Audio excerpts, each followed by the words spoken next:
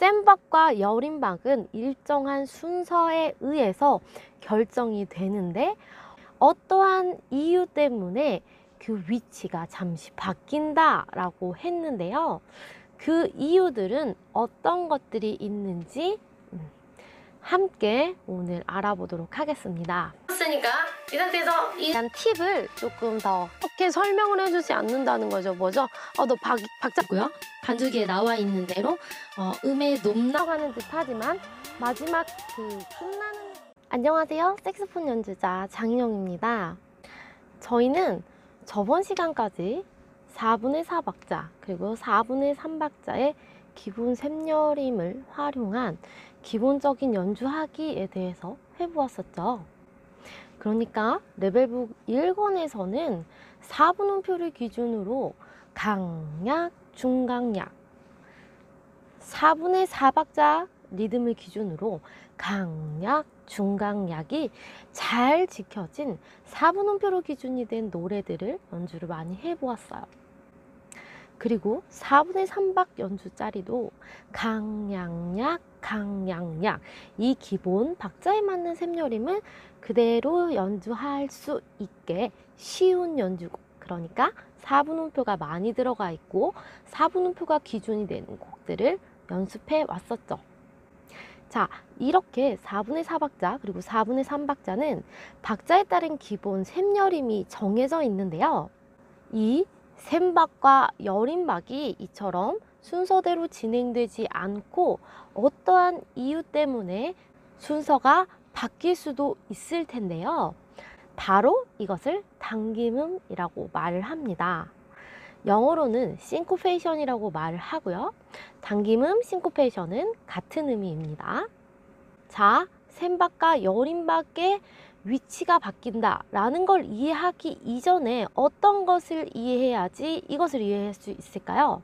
그렇죠. 4분의 4박자는 기본적으로 강약, 중강약, 4분의 3박은 강량약, 강량약 이렇게 흘러간다라는 기본적인 박자 샘여림을 이해해야지만이 싱코페이션, 당김음에 대해서 이해하실 수 있습니다. 이처럼 센박과 여림박은 일정한 순서에 의해서 결정이 되는데 어떠한 이유 때문에 그 위치가 잠시 바뀐다 라고 했는데요. 그 이유들은 어떤 것들이 있는지 음, 함께 오늘 알아보도록 하겠습니다.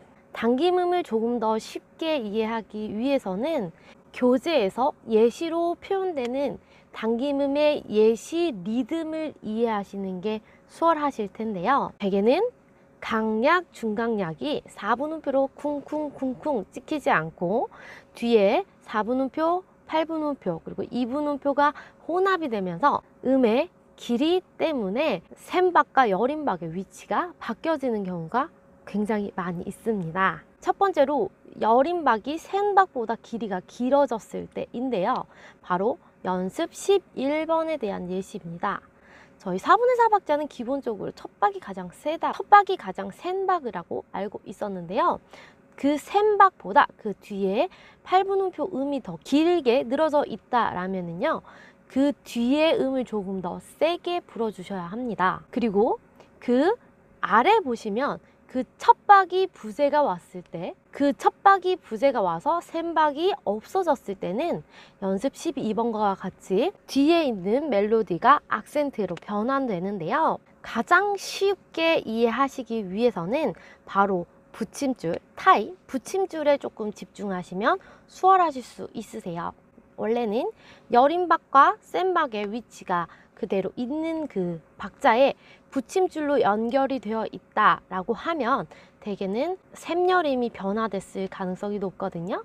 그러니까 붙임줄이 붙었다. 어, 붙임줄이 붙었을 때는 싱코페이션 당김을 한번 의심해 보시길 바랍니다. 그리고 연습 13번 같은 경우에는 자, 제가 아까 말씀드린 여러 가지 경우 중에 더 많이 쓰이는 경우인데요. 4분의 4박, 첫 박보다 그 뒤에 음이 길어서 4분음표, 8분음표 뒤로 악센트가 넘어갔죠. 그리고 그 뒤에 짝 하고 올라오는 이 두 번째 리듬도 뒤에 음이 더 길기 때문에 악센트가 앞으로 넘어왔어요. 자, 이렇게 이해하시면 조금 어려우실 수 있는데요. 결론적으로는 당김음, 당김음, 어, 어떠한 리듬을 애워서 싱코페이션을 표현해 주신다라고 생각을 해 주시면 돼요. 그런데 저희는 이론가가 아니잖아요. 이론만 가지고 어떻게 할 수 있는 것을 잘 알 수 없기 때문에 색소폰으로 어떻게 표현해야 할지에 대해서 연구를 해봐야 되는데요. 자, 색소폰으로 표현할 때는 표현법이 하나가 더 추가가 됩니다. 바로 악센트라는 건데요. 악센트는 그 음을 특히 세게 라는 음악적 용어입니다. 그래서 색소폰으로 연주하실 때는 어떻게 연주하면 조금 더 쉽게 연주하실 수 있을까요? 그렇죠. 바로 텅잉을 된 발음으로 해서 된 발음을 활용해서 텅잉을 해주시면 조금 더 센 텅잉이 나오게 됩니다. 그러니까 두를 기본적으로 하셨던 분들은 뚜, 그쵸? 다를 기본적으로 하셨던 분들은 따 이렇게 조금 더 세게 된 발음으로 발음을 표현해 주시면 악센트 표현이 될 수 있을 것 같습니다. 자, 말로 해서 이해가 굉장히 힘드시죠? 제가 연주 10번 연주해 보도록 하겠습니다. 자, 악센트를 표현할 때는 두, 뚜 이렇게 뒤에 발음을 어, 되직하게 조금 더 세게 발음해 주셔야 됩니다.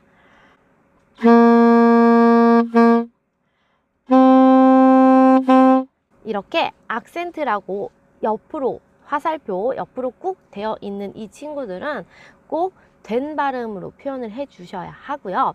아래 연습 11, 12, 13번은 싱코페이션 그러니까 당김음의 예시 리듬입니다. 사실은 어, 악센트가 기본 악보상에서 적혀져 있진 않고요. 저희가 당김을 연습하기 위해서 제가 임의로 악센트를 표기해서 연습하실 수 있도록 수록해 놓았거든요. 그러니까 뒤에 따라오는 당김음들을 조금 더 세게 서 주의해서 연습해 보도록 하세요. 제가 연습 11번 불어보도록 하겠습니다.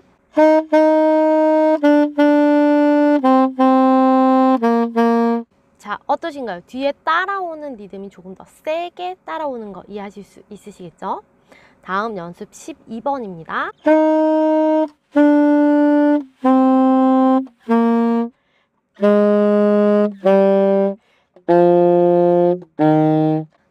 첫 박이 부세가 왔을 때 그 다음 음에 악센트가 넘어간다 이해해 주시면 되고요.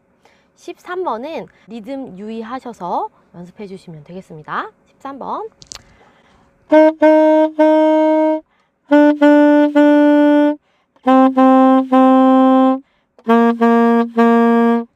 자, 이렇게 악센트 표현과 당김음 예시 연습에 대해서 연습해 보았는데요. 사실은 이렇게 연습하시면 당김음 조금 이해가 어려우실 수 있어요.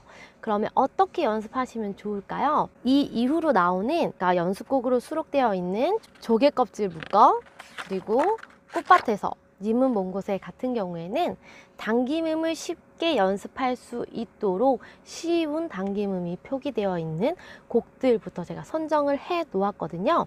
그 이후로 그 겨울의 첫집이나 이등병의 편지와 같이 당김음을 활용해서 연주하실 수 있는 쉬운 연주곡들이 계속 수록되어 있으니까요. 천천히 연주곡에서 어떻게 활용하는가를 연습하시면서 연습해 보시면 좋을 것 같습니다. 어떠신가요? 연주에서 정말 많이 쓰이지만 표현하기는 가장 힘든 당김음, 싱코페이션에 대해서 이야기해 보았는데요. 음악적으로, 이론적으로 굉장히 복잡할 듯 하지만 사실은 복잡하진 않아요. 그러나 많은 예시들을 알고 계셔야 하고 그 예시들을 표현해내는 방법을 익히셔야 하는데요. 그것들을 쉬운 것부터 천천히 나간다라고 생각을 해주시면 돼요. 그래서 교재 수록되어 있는 연습곡들을 순서대로 연습해 보시는 걸 추천드립니다. 자, 그럼 저는 이만 물러가고요. 이번 영상이 좋으셨다면 좋아요와 구독하기 부탁드립니다.